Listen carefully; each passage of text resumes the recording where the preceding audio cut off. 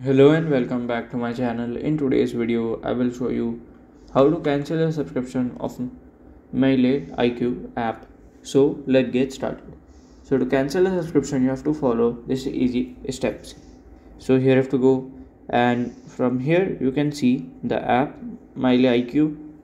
So to cancel a subscription, you have to open and from here you have to log in into your premium account. Then here you have to open a Google Play Store just click on top right section as your uh, like account section. Click on here as your payment and subscription. Click on subscription. And if it shows here just click on cancel and confirm the cancellation. And by this way you can do it and it's an easy way too.